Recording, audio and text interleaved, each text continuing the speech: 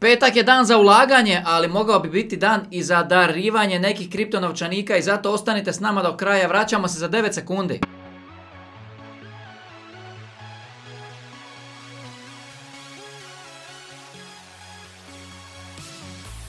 35. epizoda, opet ulažemo, opet kupujemo kriptovalute i danas pravila znate, 52 epizode, 5200 dolara je cilj uložiti i onda to pustiti da vidimo kako će se sve to ponašati kad krene ono ludilo uskoro jednom, nekad i kada u kripto svijetu. Sve što kupujem je samo moje osobno mišljenje, moji osobni potezi, ništa nemojte shvatiti kao savjet, kao nagovor na kupovinu. Kripto tržište je rizično, a ja ljudi nisam niti financijski, niti kripto savjetnik i vi za sebe morate donositi sami vaše odluke koje će biti rezultat vašeg vlastitog istraživanja. Molim vas od srca, ovo što ću sada kupovati je samo moje osobno mišljenje. Imamo još jednu rubriku, ali nju mogu gledati samo članovi, zove se Zona visokog rizika, e tamo se kupuje sa onim što smo spremni doslovno izgubiti. Ovdje se pokrivamo s Bitcoinom, ovdje imamo neke drugačije strategije, ali dobro, idemo se mi prebaciti na kupovinu i by the way, odmah da vam kažem, uh, Tangem jedan od najpopularnijih svjetskih kriptonovčanika počeli su sa isporukom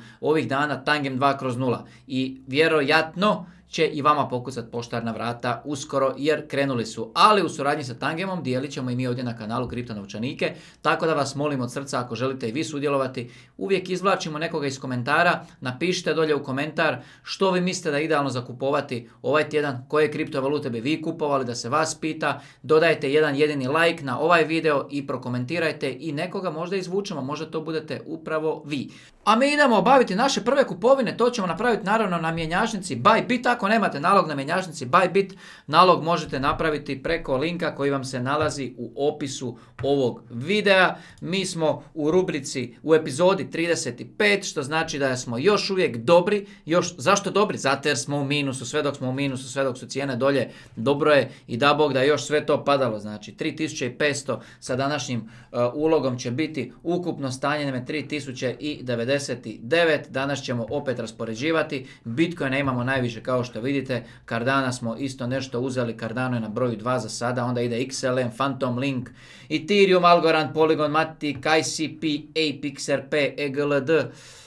ARB, Arbitrum i dolje HBR ispod Arbitruma. Idemo mi sada obaviti našu prvu kupovinu. Danas nećemo puno Bitcoina. 20 5 dolara buy Bitcoin buy. Naša druga kupovina danas će biti ADA Cardano. Doslovno ga kupujemo po svim živim cijenama, sad je na 20, 26 centi. Danas ćemo kupiti Cardana za 15 dolara buy Cardano buy. Idemo odmah na jedan od naših XLM Stellar, isto jedan drag projekt moj, isto kao što vidite kupao sam ga i gore i dolje i po svim živim cijenama. Danas ćemo XLM-a kupiti za 15 dolara by XLM. Idemo malo kupiti linka, linka ćemo simbolično za 5 dolara, malo čisto da dodamo, jel tako, da se nađe, buy link.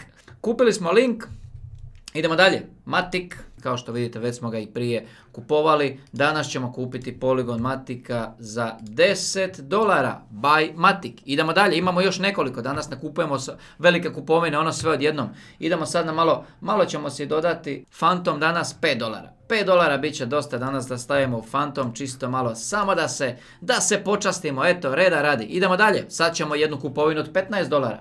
To će biti ICP.